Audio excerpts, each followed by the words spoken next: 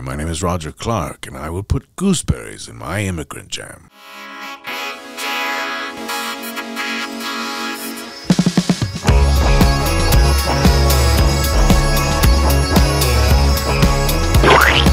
Hello, hello, hello, and welcome to Immigrant Jam, the podcast where we love and celebrate everything immigrant, baby. It's a beautiful day here in New York City. I am your host, Lucie Pohl. Today's guest is the wonderful, the amazing, the delicious, the nutritious, the very, very illustrious, the Irish, the American, the father, the hero, the cowboy, the actor, the producer, Mr. Roger Clark. Hey, Roger Clark, like, how's it going? right. Hey, How thanks are you? for having me. Thanks for being here, Roger. It's great to be here. It's not too. It's not so cold today.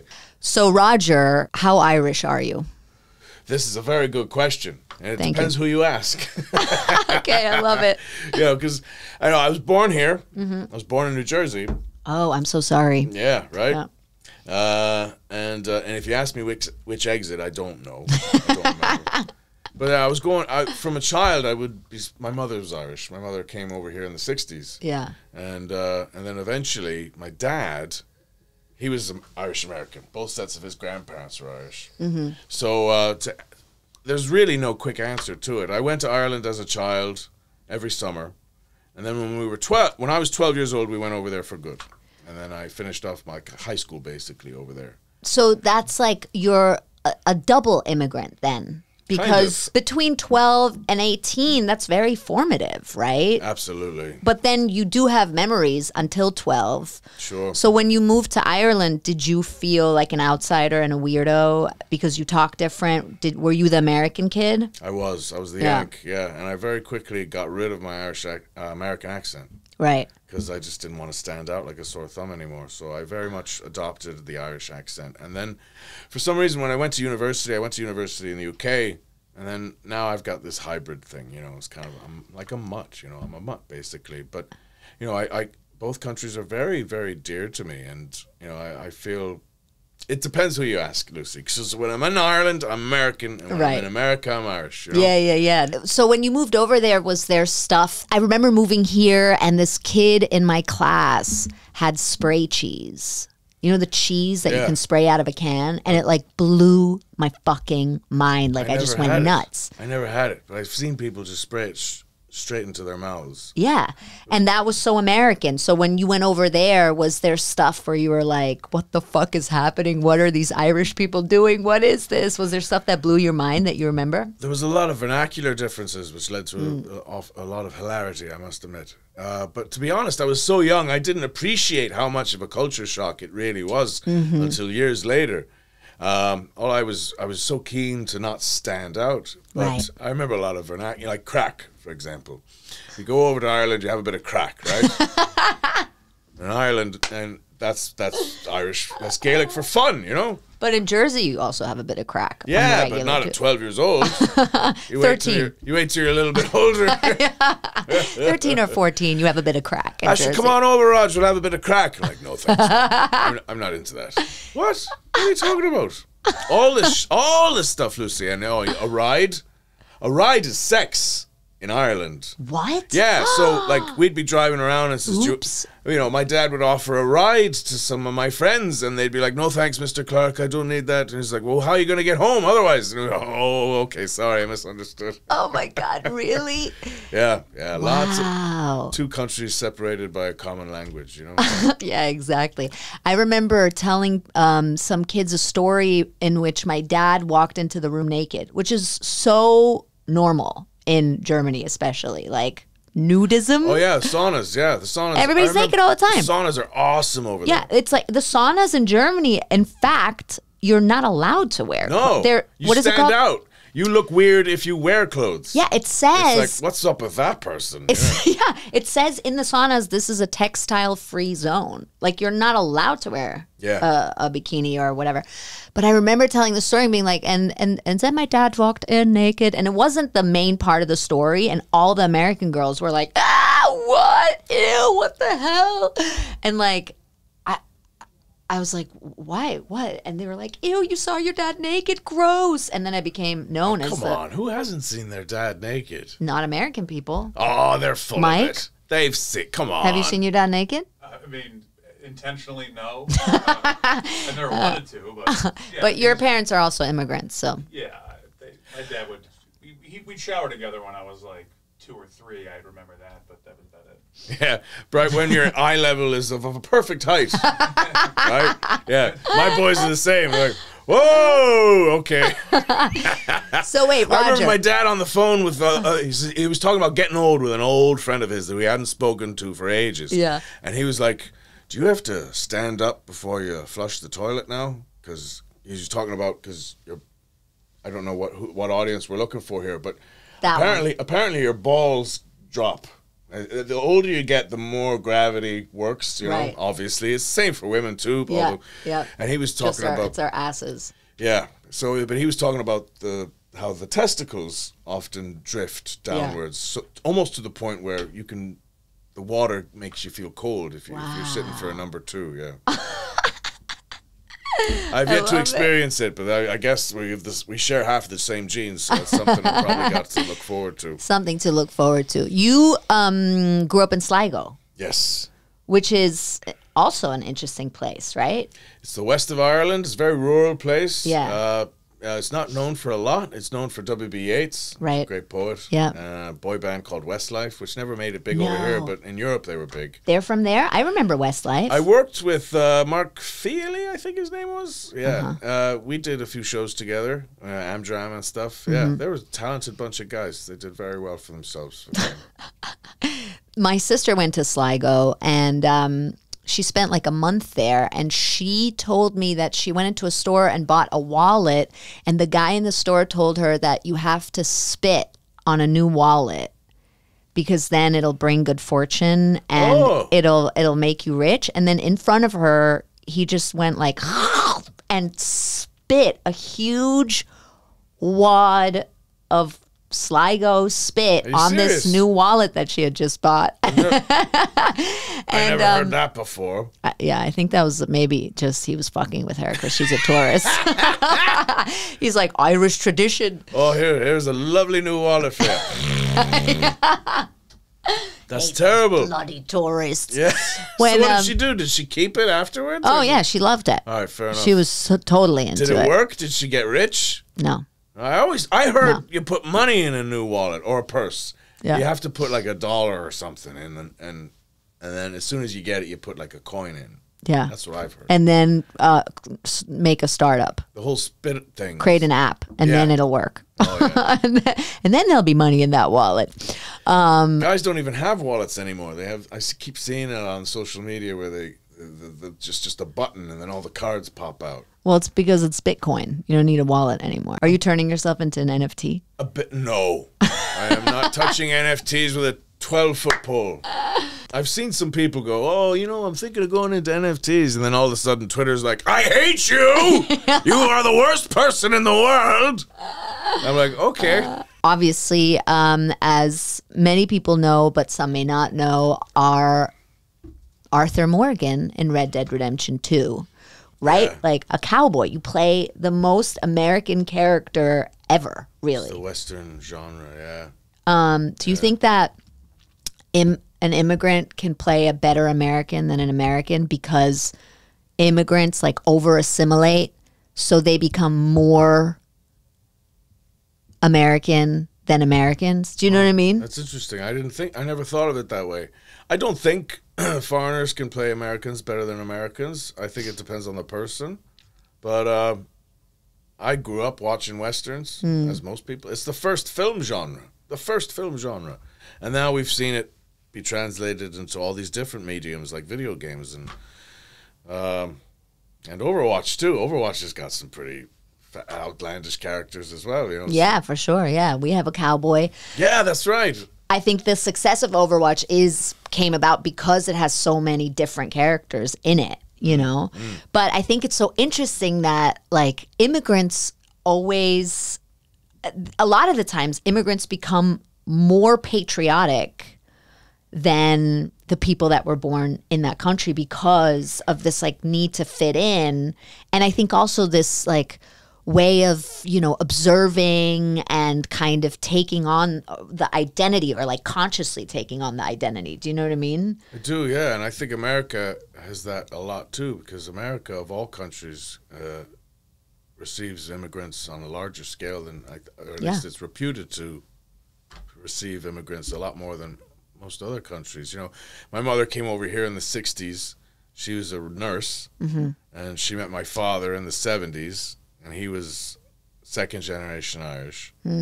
Um, and yeah, I do think America is one of the things I love. I mean, I, I'm I'm very much Irish and I'm very much American. Um, and I, one of the things I love about America is its diversity. yeah You know, it's and I love it for that. And you know, you see so many different types, especially in a city like this. You see so many different people from different walks of life, and you know, and that can't help but enrich the culture. I think you know. yeah i mean in a way there's no such thing as being american anyway Yeah, what is an American? it's like a yeah. totally artificial concept The only people who are really American are the ones we've fucked over. You know? exactly Yeah. Yeah. You know, a sense of identity is is a very different thing in this country. You know, we, we all have different identities, but yeah, it just blows my mind sometimes when I think about it, because you know, it's such we're so different in America.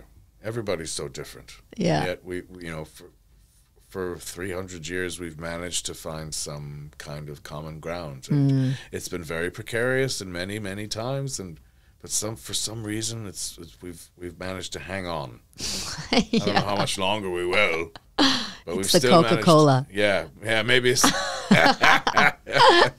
So you said you got rid of your accent as a kid when you moved to Ireland. yeah And then was there like a moment where you were like, because now you have somewhat of an accent. it's kind of half Yeah. It, it rings a little Irish, but it also rings kind of. i'm american in ireland and i'm Right. irish over here So was there a moment though where you were like, when I went to college, I subconsciously I didn't even notice. Hmm. When I went to college, I, I it, it, the American seeped back in yeah, a little bit, and I didn't even notice it at the time. But uh, I guess I, I stopped trying. Yeah. because I went to university in Wales in the UK. oh my God. So uh, so the need to be undercover wasn't as necessary anymore, and I was getting older, and I was finding myself as an adult. You know, Right. so yeah, I, I, I guess it, that's where the Americans seeped back in. But up until I was totally Sligo, don't you know? Oh, wow. Because I didn't want to stand out like a sore thumb. They were like, oh, there's the Yank over there, you know. Right. Yeah, of course. Do you think you overcompensated? I know I definitely did. Yeah, I definitely did. Absolutely. I think that um I mean for a while uh me and my friends started talking like this. Like we wanted to be like Puerto Rican and stuff like that. Like we wanted to be like the furthest away from German possible. And I went to an international school. I went to the United Nations International School Oh, just over on 23rd and FDR, yeah. Yeah. And so I had like a little the group of baccalaureate. yeah, we did Right, the IB. right. Yeah, exactly. And um, and we did not. Oh my God, German it was not cool. I mean, it has never been cool to be German. You know, I love Germany though. Germany's awesome. man. I guess. Great beer, great Yeah. food. Yeah. The trains run on time. and they do have a sense of humor. A lot of people say they don't. They do. It's just very dry. It's very dry, and it's and they don't do double meanings. No. They can't do double Because meanings. well, they have such a diverse vocabulary. They've got words for everything. That's exactly what it is. The words, because in German you put words together, you can make up new words. What's the German. nipple again? Is it chest wart? Brustwarze, which is breast wart. And and pubic hair is Schamhaare, which means shame hair. and uh, sexual intercourse is Geschlechtsverkehr, which means gender traffic. Gender traffic.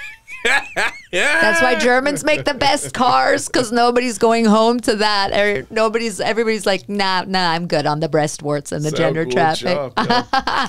But it's so true. They're so literal, you know? One of my when we were on tour in Germany, one but uh, he was very open about his porn addiction, and he would go around to all the sex shops in Germany, which uh, were a lot were far better than they were in the UK. Well, they're, they're basically in every supermarket. There's oh a my gosh! So there shop. would be these little booths that you'd pop a euro into because it was shortly after the Deutschmark went AWOL, and then it Yeah. was euro. And he saw. He was telling me once that he saw a very weird porno, Mm-hmm. and it was about a man. Right? It wasn't even pornographic. Oh God, I'm scared. It was, it was a man uh, sucking the udder of a cow, right? No. So my friend, uh, I'm going to say his name. It's Mike Moylan. Fuck you, Mike. we got you, Mike. You fucking sicko. yeah. yeah. so he did. He he did something that I had never heard anyone do before. Okay. He decided to complain about the porno- pornography that he had purchased. He says, "I'm sorry." I don't like this pornography. I don't think it is pornography. This is a guy sucking on a cow's udder. Actually, it was a couple of guys because you know they have four. I think it was two or three dudes. And he's like, "This isn't pornography. This isn't. This is what I. This isn't what I came here for." Oh my God. and then the, I'll never forget the German. I wasn't there, but he told me the story so many times. I I almost feel like I was. And he said uh, the German guy in, in defense. Uh, he explained, well, perhaps it is the the sheer horror. Yeah, no. Yeah? And Mike's like, "That's your fucking. That's that's your explanation." So wait, he bought a porn without knowing what in the was booth. inside? He was in the booth. oh, oh, the So- coin. Oh, okay, good, Yeah. good, okay. Wow. Which I've never, ever, ever done. That is so funny. Because you think of the things that people before you have done in there. I'm not step. I'm not stepping foot in the place. But he he didn't have that hang up. So he's like, I would like. I I, I must confess, I I I am not at all satisfied with your pornography. I, I, Entschuldigung, aber das ist der sheer horror, ja. He didn't see the big sign that said "Coo porn" on the door. wow, that makes me want to go into one of those. Do they still have those? I don't know. The internet might have. I would have been kind of happy if that's what I got. the internet might have done away with them all. Oh my god, that's so funny. Yeah. Wow. Of It's a sad, it's a sad. sad Germany and its porn, Scheisse porn, very Yeah. big in Germany. Scheißenrumpe, ja. Scheißen Rumpenporn. Um, do you think that moving at um, as a kid uh, gave you strength of character? Like gave you a strong, made you a stronger person? Because you had to fight and assimilate and and be a weirdo in the beginning and figure shit out. I don't know if it made me stronger, but it definitely made me. It it, it definitely helped me. Yeah. And I, you know, and my kids nowadays, you know, with the pandemic and everything, I feel so bad for them, and you know, I'm I'm I'm very keen to get them traveling now this summer. You know, hopefully when everything's finally started to calm down, they deserve it so much, because I remember the it was such. It was a real luxury for me when I was a kid. I, it really taught me a lot. Right. I don't know if it made me a fighter so much. You know, it depends because as an American going to Ireland, it was I, I was kind it was romantic, you know, in many ways, and but at the same time, I had to uh, I had to learn. I had to learn a different culture, and that really opened and broadened my horizons in a lot of ways. And I'm very, very grateful for that. Very grateful for all the traveling that I've done. Uh, and, uh, you know, basically, at the end of the day, what it's taught me is that we're all the same. Yeah. We're all the same. We all want the same things. We all want cow otter titty porn. At the end of the day, Was a shit horror. yeah, we all want that.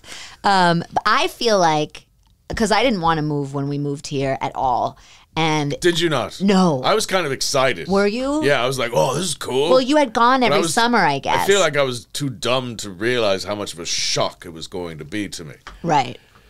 No, I wasn't adventurous. And I was like very cool in my school at that point, And I was like the boss of everybody. And I had a little crew of boys that followed me around. I was a tomboy and we'd like climb up trees. And I was like, I was set, you know, and I was happy. And I also didn't think I could learn another language. I was like, that, how do you, that, what?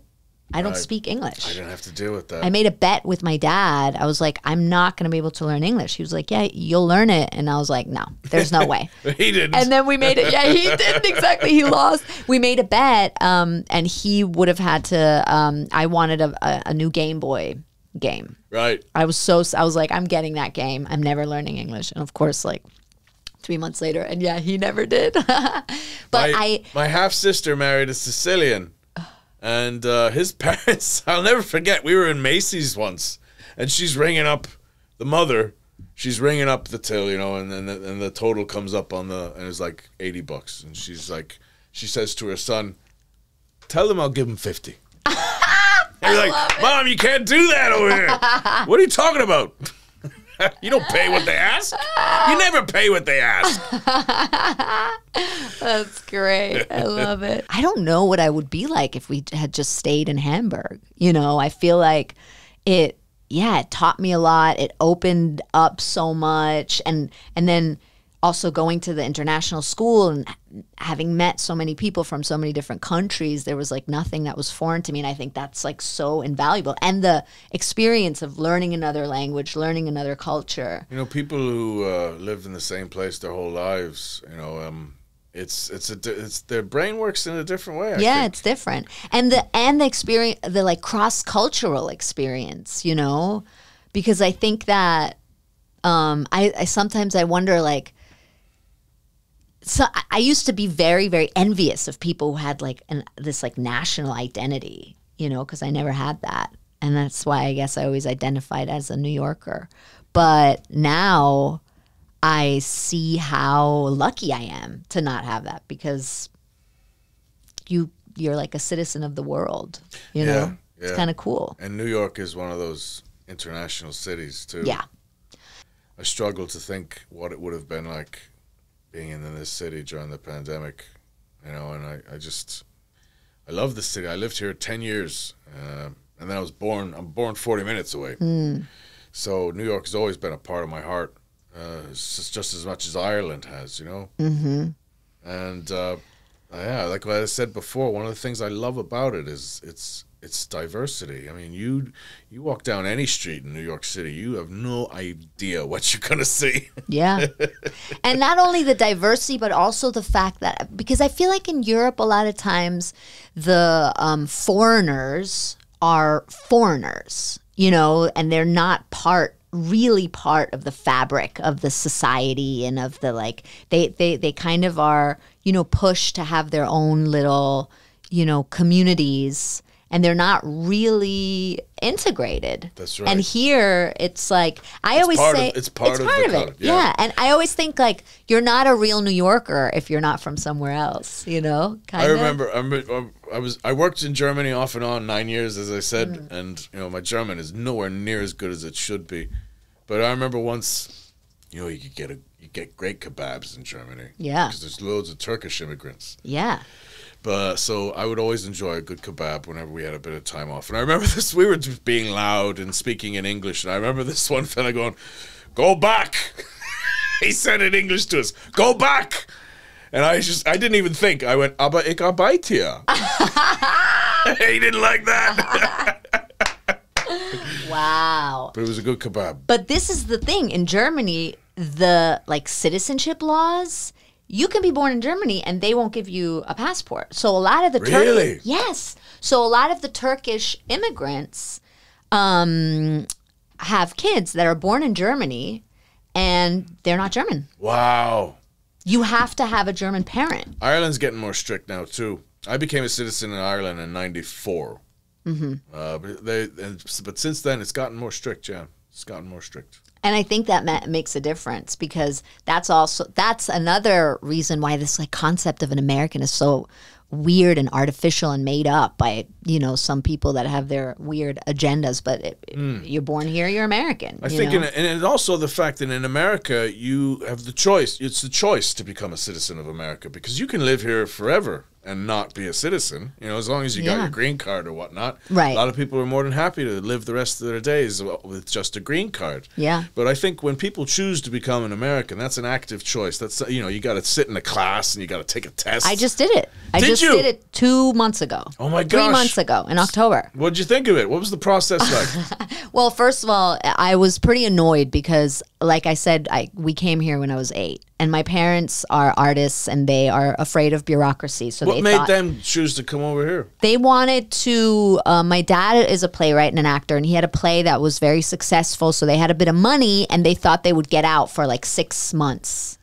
And uh, my mom had never been to New York, and they came here, and she fell in love with New York. She was like, "I want to live here for six months," and then now it's been thirty years. Cool. So they they got stuck here, but it was just you know they just and they also wanted to give us their kids like this experience of, you know, living somewhere else. I remember all the Stadttheaters in Deutschland, man. Yeah, the, The- theaters so the heavily subsidized Oh my there. god, the funding! I mean, it's like a town. You get a town population like thirty thousand, Every single one the- has a state theater. and the Stadttheater is I've Yeah. is impeccable. yeah, yeah. You, I've met I met techies backstage that you know, like electricians and whatnot, that used to do residential and commercial businesses, and they would they would quit that job to work for the Stadttheater. yeah, yeah, they're good. They're well paid jobs. Beautiful, mm-hmm. beautiful. Uh, such a love for theater. Great opera Yeah. in Germany. Yeah, yeah, all of it. It's kind of weird. Some of it's really weird. But All in, of it is but in a great way. You know. Everything in Germany is weird. Germans are so weird. So weird.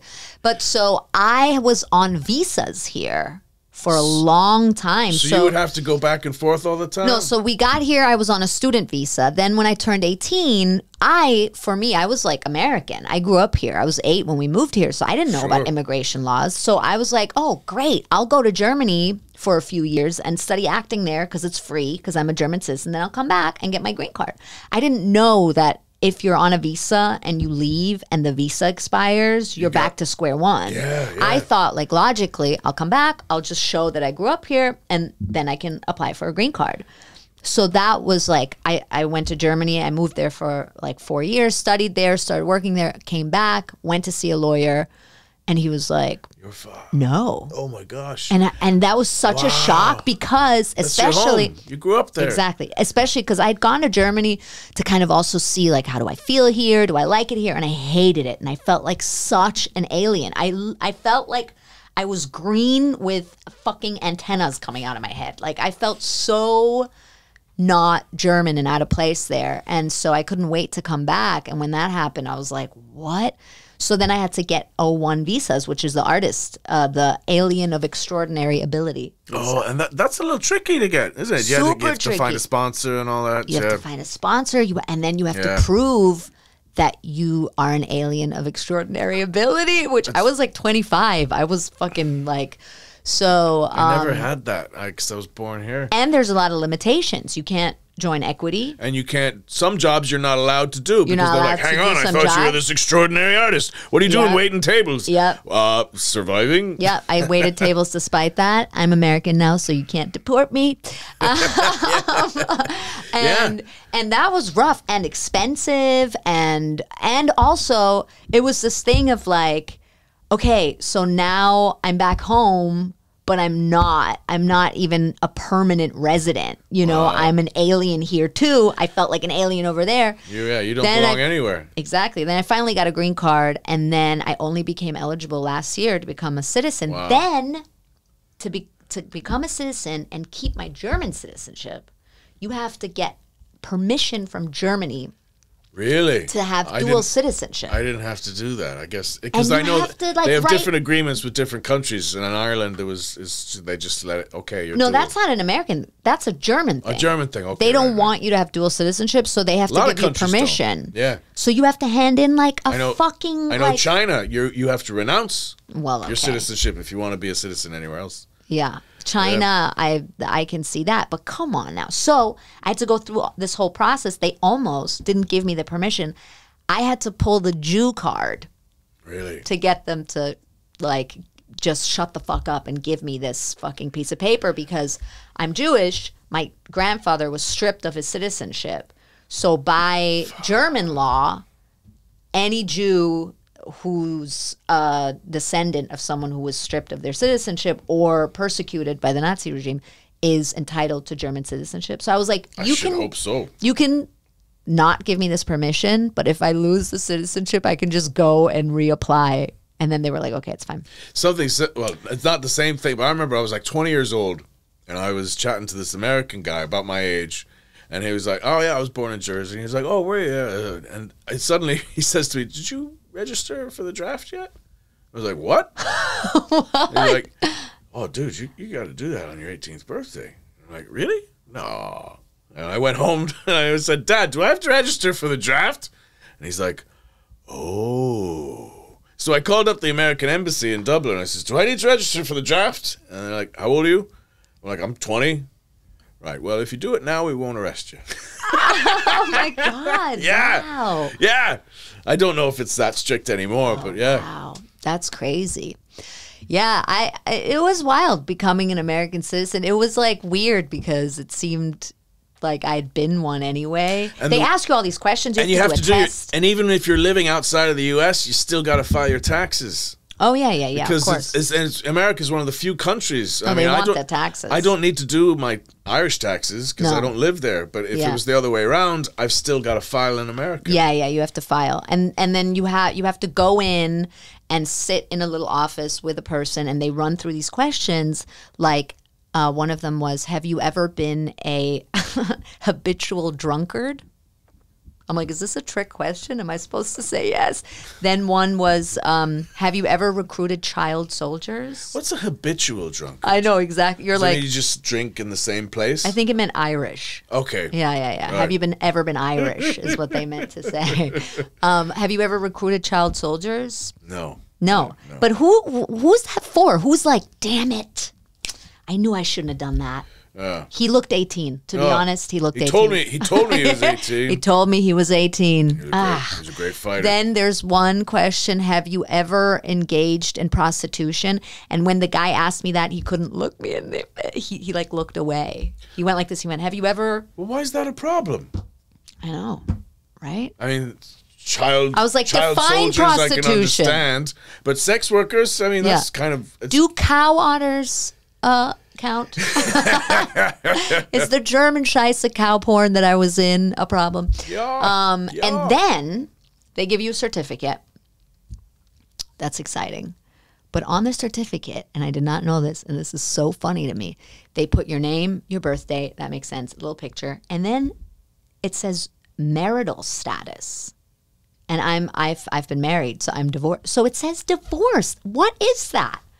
Can can can a person get over it? wow. I can't even hang this up on my wall now. Well, sure you can. There's nothing wrong No. with being divorced. Why can't I'm they divorced. put something nice? I had a, I, I'm on my second wife now. Nice. See, I my theory is being divorced once is sad. You have to get divorced and remarried at least three more times to reach Elizabeth Taylor diva status. Uh, whenever somebody before I got divorced, and people would say, "Oh, I just got a divorce," I'd be like, "Oh, I'm so sorry." Yeah. But then after I got divorced, and people would say that to me, I would be like, Congrats. "Fair play." you obviously you're obviously going to be happier now. But come on, they could put something nice on the certificate, like Yeah, like helped an old lady across the road once. And what's next? What are they going to put? Chlamydia times two, crabs, age 14. Did they ask you that? no, but you know, um, but yeah, I was shocked. I was like, "What? Why? Why? What? Whose business is that?" I didn't have to do that. A lot of my Irish friends have. I remember one of my Irish friends did it the day Trump was sworn in. Oh my god. and it was on the TV and when he's in the waiting room. And you know, and Trump oh yeah. And he yeah. was like, "Uh, I think that I'm good." he like ran out of the room. So, um, I have to ask you this: Do You usually get um, cast Irish or American? Very good question. So I kind of when I was in the UK, I was I was either the Yank or the Paddy. Mm-hmm. But now that I'm over here, I'm a Yank or a Paddy or a Brit. Ah. So I can do a lot of the accents. I try to keep my pigeonhole as large as possible. Because I think every actor should. You know, every actor should not l- allow themselves to be boxed into anything. We should always try and resist that. Yeah, if know, possible, If you're, if you're, if you can get away with it. if yeah. you can get away with it. Exactly. Yeah. So uh, yeah, I, with Arthur Morgan, I was lucky enough to get uh, cowboy. You Yeah. know, but I do a lot of Irish work too, and a lot of British work. Yeah, but you'd been in a western before that. I saw. yeah, yeah. I did a. Th- uh, we did a thing about Custer's Last Stand with uh, Maggie Smith's son, Toby Stephens, great Wow. guy. We filmed that on location where Custer died in South Dakota. Really? Shit. That was wonderful. And I remember on, our, on one of our days off, some of the horse wrang I got friendly with some of the horse wranglers, and we just went around Mount Rushmore on horseback. Just Wow. that was a beautiful, beautiful, beautiful shot. Uh, uh, uh, film, man. We we it was so beautiful, and we worked with all these uh, Sioux. Lakota, Right, mhm. Lakota guys, man, they were some of the best horsemen I've ever seen. Yeah, they were riding bareback. You know, it's, it's 10, 12 year old kids just jumping on the horse without a saddle and just whipping away, man. They were amazing. They were amazing. That was a That's really cool. cool shot, which is one of the few survivors of the of Custer's last stand. American, obviously. Mm. yeah, yeah. Okay. yeah. So do you think that helped you with Arthur Morgan? I don't know. I Hmm. think it might have done. Yeah, I remember when they if they Googled me, they might have seen it. So they were like, "Oh, okay, I, he can write." Yeah, he's somewhat. And that's, I mean, I've, I actually have never done, I actually have never done, I, I've done a little bit of motion capture, but not like full on, you know, it, was, it wasn't really acting. It was more about the movement, Sure, you know? sure, Um, sure. But, I love it. I but love it's it. basically, it's, it's, it's your, it, it basically is the same as being on camera, It's as on camera acting. It's right? kind of a cross between stage and, fi- and film. Do you let yourself, because the way you play Arthur and every Morgan. studio does it kind of differently too. You know, it's so it's, I, it's such a fascinating medium. I love it. What I think is so cool about the way that you play Arthur Morgan is that you there's like this very fine line between it being very real, but it's but you're also playing to the medium, which is you are like a very um very s- like uh bold character. When you're performing in a video game, especially if you're the playable character, and you know this, you know a lot of your work is done for you because the audience are you, Right. so they all automatically identify with you. Yeah. You know, you don't even you don't have to win them over. right. Unless you suck, and then they're gonna be like, I don't like this video game. Yeah. But you know, a lot, a lot of you don't have you don't have to win them over at the beginning because they're you. They're automatically going to identify with you, and that that makes a lot of your work easy. But and then the, the, it comes with a lot of other challenges as well. In that you don't you you can't anticipate the player's style. You know, mm. like in, for with Red Dead, for example, you know you can make Arthur a bastard or you can make him an honorable guy. It's up to you how you mm. decide to play. Mm. And so I would, being conscious of that, I'd have to come up with a performance that would would fit or match Right. both both styles. You know. That's so cool. So in some ways it was challenging, but in other ways a lot of your work is done for you because they automatically the, the, the gamer is is not a passive spectator. Hmm. They're they're a participant of the narrative. They're in it, and you're that you're you're the representation of them. But so then how does that change your performance to when you're on when you're doing a movie? Well, when you're doing a movie, I think you can you you have complete control over who the character is. You have mm. complete control over how it should be portrayed and whatnot. But when you're when you're playing a playable character in a video game, you have to you have to take into consideration what the player's style might be. And You have to take into consideration the narrative of the video game, and you have to take into consideration that the player is going to identify with you because they are you, but in another, but also, you know, it's, it's a little bit more tricky uh, because they. I guess, what am I trying to say?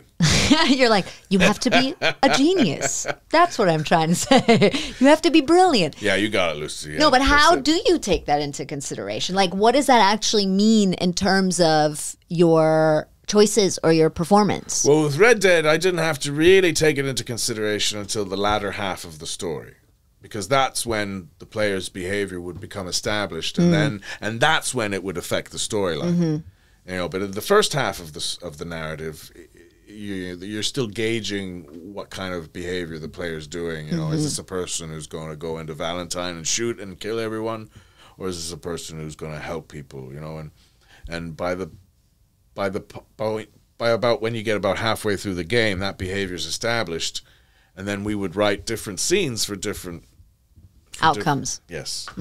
So it wasn't really a, an issue until we were doing the latter half of the story. But by that point, I was like, okay, is this guy a bastard or is this guy an honorable guy? And sometimes they would write different scenes, and sometimes they wouldn't. Mm-hmm. And when they didn't, that was where the challenge lied. So I would have to come up with a performance that was ambiguous enough to match both, s- both different ways. Mm-hmm. And that I I really appreciate. That was fun. I enjoyed that. I enjoyed that because it was a challenge. You know. Do it, do you think that there's a lot of you in in Arthur Morgan? Yeah, I can't help but. Yeah. Yeah, eh, there's part of me in everything. Right. Yeah. And do you feel because in a way that's like even better than playing a character on camera because you get to explore sides that every character always has, right? Like those those two sides are always there. Like somebody is isn't just a bastard or just a good person, People right? are people are complicated. yeah, people are complicated. You know, they contradict themselves all the time. And I, I love those contradictions. yeah, and it's cool. In a way, you get to kind of live out those things that you have to make very subtle, Yeah. usually, in a Yeah. character. Yeah. I think it makes this it makes them more real too. Right. People contradict themselves all the time. What- what- Whatever's in their best interests, you know? They can turn on a dime, you know? Um, and I, I love exploring that. And you guys worked on it for five years? Yeah, I was on it for five years, yeah. That's crazy. Oh, a contract, yeah. You changed knew it was going to be five years? No, Okay. I thought it was going to be three. But you knew it was three years? I thought it was going to be three. that's crazy. Because GTA 5, the actors were three years on that. Hmm. So I thought it was going to be similar to that. I have to ask you something that I read about you. Um, I read that you began by cutting out newspaper clippings for like reading to blind people. Yeah, Is so that I, true? I, I narrate audiobooks. yeah. And um, I started out, my dad used to do it. He, he, he we would put it on cassette. Yeah. Uh, he would read newspaper for the blind. Uh, he started out with the Star Ledger in Jersey, and then when we went over to Ireland, he started it up himself. And And he just did that f- like as a hobby for fun. yeah, Yeah. just like yeah, and I would help him. I would help cut out the names. I was five, six years old, and I remember we would we would put it. We would be able to record twelve cassettes at a time. That's amazing. And what kind of stuff did you record? It was new. It was whatever the local newspaper. Oh, was. local newspaper Yeah, stuff. yeah. Wow. So you so they would so how did that work? Because by the time you recorded it and got it to them, wasn't that already old news? Yeah, it, it was weekly newspapers. So yeah, they, Okay. they get it about a week late oh, okay. typically. Yeah. They're like, big blizzard coming. it already happened, Mike. It already happened. Yeah, they never wanted to They're, hear like, that. What buried they- in snow. They always wanted to hear who got arrested and who got fined and all that. You know, that was that was and the obituaries were very keen. Like they always wanted the obituaries. Wow, that's that's dark. Yeah. So you um so you were like 12 reading uh, recording I would yourself do. reading I would out help my dad. I would help my dad, and then eventually is something that I stumbled into with doing audiobooks, and I still. I mean, that was what I was doing the whole pandemic. That was pretty much all I was doing. Mm. I've got about 120 books now. Do you have do you have your kids help you? No, No. No. How old are they? seven and nine now. Oh, okay. They're too friggin' They'd be loud. like, "Shut up, dad." oh my god, they're too loud. do Oh they play. Red Dead Redemption? Too young. They're too young. How But old do you have to be to play that? I game? reckon maybe 12, 13 they Oh, can okay. start. But by that point, they probably won't want to. But they know, right? They know. Yeah, yeah. It's like whatever. You know, it's not. it's not cool to them. Do they want to be actors? My younger son wants to be a YouTuber. Oh, oh, that's what. That's the new thing. Of Yeah. course, people don't want to be actors anymore. No, He wants to be uh, and do what on YouTube? play video games. Oh, okay, Yeah, okay. And I- the I- older one, he's uh, you know, he's kind of doing his own thing. Do they have? Do they like tell people that they're Irish? Do they identify as Irish? Do they like have a like? I got them. To, I. I was able to bring them over in 2019 before the pandemic happened, and I'm really grateful for that. But uh, you know, I, I I gave them Irish names. My eldest is Colin. My youngest is Rory. Hmm. My mother was going to name me Rory, but she figured, oh, there's no way the Yanks will pronounce that properly. I dated a Rory. Did you? a Scottish uh, Scottish guy, and it's, it was spelled R U A R A I D H. Oh, and for yeah, like the first yeah. year of our relationship, I was just always like, Yeah. "Hey," because I, I was like, "I'm not going to pronounce this right." I just like kind of went like, "Hey, you, come here." That, that is one of the way. Yeah, I, I went for I went for a bit more simpler with my buddy. So R U A R I fada, which is probably the simplest. Or, or you could go R O R O R Y, but I'm not going to do the Anglican. Wait, so are you? A R I fada, and a fada is like an right. accent grave. An accent grave Yeah, from Ireland. It's called grava, a fada. a fada. Fada. I just yeah. made that up. It's, little- it's just the little sh- over the eye. Mm, okay. They don't have that in German, do they? I know they have it in French and Spanish. They have this. Yeah. That's a different thing. Umlaut. They have the Hitler salute. Yeah. um, they have the umlauts. So then they do have a uh, like an Irish identity. They have I Irish try names. to. I try to instill it in them, but uh, I want to do it more.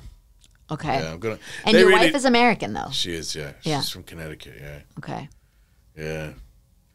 She's uh she's like many Americans. You know, she's got a bit of Ukrainian, some Right. Mm. Irish. You know, Yeah. uh, I, I, mostly Eastern European. My wife. Okay. My wife's roots. Yeah.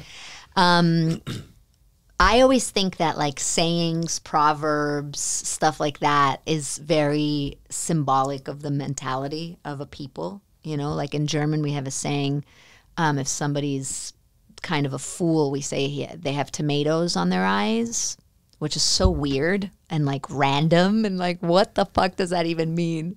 Do you have a favorite Irish saying? My sister told me there's a saying in Ireland um, uh, where people go, "Your breath smells so bad, one could hang a hat on it." have you heard this? What is that? Yeah. Yeah. I have. Is that real? You've heard it? yeah, I have heard that. it's probably been said to me a few times. No, you put me on the spot now. I'm trying to think. Uh, yeah, yeah. Well, the Irish have got loads of sayings. It's Yeah. brilliant, brilliant, br- some brilliant stuff. Right now, you put me on the spot. No, that's okay. Don't worry. I'm trying to think, but um, I also have um, some questions I need to ask you. I have um, this is uh, the poll questionnaire, all about being an immigrant. So first thing that comes to your mind, no pressure. Ready? yeah. Okay. In a movie about the Statue of Liberty, who would you cast as the Statue of Liberty? Oh, oh, okay. Well, she's got a Roman nose, hasn't she? So I might go for an Italian. Okay. Uh, uh, you know who's got great features? Helen Hunt. maybe. Helen Hunt Helen would be the Statue of Liberty. She kind of looks a little bit like her. She looks a little it. bit like her. Ah, that's hilarious. Yeah. Okay, great. Let's go with it. Or someone with some more, maybe a, someone with Roman features. Yeah. Okay. If you could add a face to Mount Rushmore, who would you add? Ooh. Oh, that's a good one. well, it would probably have to be an American. Who's a great American? Why? It doesn't have to be an American. Does it not have to No. be? Well, all the rest of them No, this is immigrant jam, baby. Okay. Well, in that case, uh,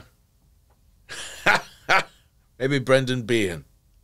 Brendan Behan? I He's an Irish playwright. is. Oh, okay. Yeah. I love it. Just some totally obscure person. So people walk up there, they're like, "Oh yeah, yeah, He was a very famous drunk, uh, like uh, a habitual an, drunkard." an, an intellectual drunk. Mm-hmm. So I, I think he would get a kick out of being next to all them presidents. Yeah.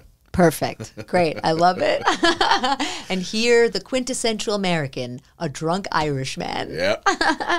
Um, what's the most American thing you've ever done? Oh my gosh, probably wear a fanny pack. I've only ever done it once. I love it. Yeah. Okay, great. That's great. Um, uh, it, oh, if you could add an amendment to the Constitution, what would you add? Oh dear. Oh, that's that's a serious one, Yeah. Roger. Yeah, yeah. I would. Uh, Everyone must play Red Dead Redemption 2 once they turn 12. I don't know. I would kind of reevaluate the whole right to bear arms thing. You know. Okay. I don't think they Okay, easy, Roger. We're, we don't want to lose half of our audience here, okay? yeah, what the hell you saying, eh? Coming from Arthur Morgan. Yeah, it was a video game though, isn't it? Yeah. No, I, real. all for I'm all real. for responsible gun ownership. It's just half of the gun owners don't do that. So Yep, that's true. Moving on. Um, okay, what is your favorite word in your language? What's your favorite Irish like slang? Oh well. Apparently smithereens is an Irish word. Smithereens. I love that Oh, word. and the the um, what does smithereens mean? I, it's just loads of tiny little bits. Loads of tiny little bits. Yeah. I love it. Smithereens. I might be wrong, but I think I believe smithereens is no, that's what it is now. And and the the the foot war- warts. How what did you call them earlier? Chest warts. Uh, about in No, no, no. The the the Verrucas. verrucas, Yeah, the Brits call them that too. which sounds like They're plantar warts a over restaurant in the East Village. Yeah. Um, but they're they're different than the most normal warts because they actually grow up into your foot. They don't grow out. I I know That's from horrible. experience. Yeah, it's a pain in the ass. how do you know you have them if they're in your Oh, foot? you know. You How? know. It's uncomfortable. Oh, you okay. gotta get acid and burn them off. oh my yeah, you put Vaseline over the skin so that you don't burn the skin, and then you put you burn it off. Okay, three more questions. Um, what American food would you ban if you were president? Ooh, okay. You know, I don't I don't have any dislike. I mean, there's very few foods I don't like. Um I remember th- th- there's a sandwich in Britain. I mean, I'm going off sub tangent now, but there's That's a okay. sandwich in Britain Yeah. called the banjo. Oh my God. So it's fried bread and tomatoes and bacon and beans and black pudding and sausage and egg with No. a runny yolk and um, and and brown sauce and ketchup. And the reasons why? I why just got goosebumps. the reason why it's called a banjo. I just got verrucas. is because everyone you bite into it and then you go like that. No. So that's not. So what? What would I ban in America? You know what? Spray cheese is pretty rank. rank. I love yeah, that. spray It is cheese pretty is rank. spray cheese is pretty disgusting. Spray cheese is pretty. It tastes pretty better than you think it would, but it's still disgusting. I have a theory though. The reason why there's so much gross food in America is because of people from the UK coming here. Maybe. Like all the net like macaroni pies, like a pie with pasta in it. Yeah. That's a, that's like a Scottish thing that they brought. Like all the gross, really gross stuff. the Scots deep fry everything. Deep fry everything. Cadbury cream eggs, Mars, Mars, bars. Yeah. Yep, yep. The the sausage rolls They're great. that they like, but they're like deep fried, and then it's. oh, I haven't had that. No, no. Um. Okay, if you could deport one American, who would it be? I Trump. Trump. Trump. Yeah. You think that would solve it? No. Okay, great. Perfect. Okay, and finally, um, the most important question. Um, do you know how I can meet David Hasselhoff? Uh, he he he go, he does he goes on the West End in London a few bit a few times apparently. So you think just hang out in Yeah. London a bit? or maybe you know maybe if you just maybe if you went he lives in L.A. right so if you went into the ocean Malibu, doesn't said it? help I'm drowning maybe he'd show up yeah or you know come up with a, Many a German has drowned that way, actually. come up with a talking car yeah yeah. he's he, he he's quite a successful pop career in Germany doesn't he he's he's a singer Huge. apparently Yeah. Oh my God. Yes. Apparently, he's. I I have been to a David Hasselhoff concert. Really? was six years old in Hamburg. Yes, and the hit song was "I've been looking for freedom." Oh, was that the one when the Berlin long." Wall came down he came out with a single then didn't he He thinks he's responsible for the Berlin Wall coming down. He thinks it was him. good Yeah. on you David Yeah, yeah. I wrote him a letter when I was uh, seven or eight that I never sent that I have framed at my house, and it says that he he's my he's like you're my idol, even though I'm a girl, you're my idol, which I think I was ahead of my time, you know. Um, and I asked him for an autograph, and then I put little hearts, and it's written on Ghostbusters stationery. oh you should send it to him now no, it's framed. It's in my house. that's amazing Hasselhoff get on to it Come Oh. on, Hasselhoff. Oh, and then also, um, Roger, I have, I'm doing um, Immigrant Jam approved. Uh, one thing for every episode This is Immigrant Jam approved and written by an Irish American guy, Empire of Pain, The Secret History of the Sackler Dynasty. Oh, You know the Sacklers? The Ox- uh, Oxycontin Yeah. people? Yeah. This is amazing. Written by Patrick Radden Keefe. Highly recommend it. Irish American. oh. There you go. Um, finally, do you think that Irish people ever stop being Irish, even when they've lived in the United States for centuries, hundreds of years? I don't think so. I don't think so. I don't think anybody stops being who they are. That's true. Yeah, unless they want to. Yeah. And then, uh, even if they want to, though, it's like they try too hard, and then they end up, you know, exemplifying the thing that they're trying not to be. That's true. That's um, like Oedipus, almost. Yeah, yeah. Yeah. Oh my God, that just took a very profound turn. Roger, do you have anything that you would like to plug? Go on to my Twitter. I, I got a link tree thing on my Twitter, rclark98. Check it out. You'll be able to find some of my audiobooks. I do a few audiobooks in, of, of the old Western genre, too. You know, the old five and dime novels that came around around the early 1900s and stuff. Cool. A few of those So those are audiobooks that you I've produced. picked, yeah. produced. That's so cool. Check it out. great. And uh, yeah, there's a lot, a few video games coming out that obviously I can't talk about. Obviously. I'll get shot. Yep. Uh, but there's a few. I can talk about. So I'm an Irish Rabbit coming up in one game called Lunafon. I don't. Maybe that's next year or so. That's so cool. Me and Troy Baker are working on a video game. I can Great. talk about that. It's uh, a sci-fi horror. It'll hopefully come out in a year or two. Great. So did you have to go to LA to do that? We did it in London. Oh, nice. Yeah, we All did right. it in London. Okay. Cool. Uh, yeah. Amazing. Irish Rabbit. I love that. I can't wait for that. It's a bit of a difference from Arthur. Yeah. yeah, that's so cool. That's one of the cool things about doing voice or video game work that you can play all these characters. yeah. Yeah. That's like amazing. I said, I, I try to keep my pigeonhole as large as possible. yeah, your rabbit hole. yeah. yeah. It's a rabbit hole now. All right, follow Roger on Instagram, on Twitter. Check out the audiobooks. Uh, you know, write him a message, send him some love, um, and follow us. Immigrant Jam. Awesome. Thank you for having me. Thank you for being here. If you liked what you just heard, don't forget to rate, review, subscribe, recommend to all your friends, and if you hated it, recommend it to your enemies. Thank you for listening to Immigrant Jam, the podcast with me, Lucie Pohl. Have a delicious and nutritious day.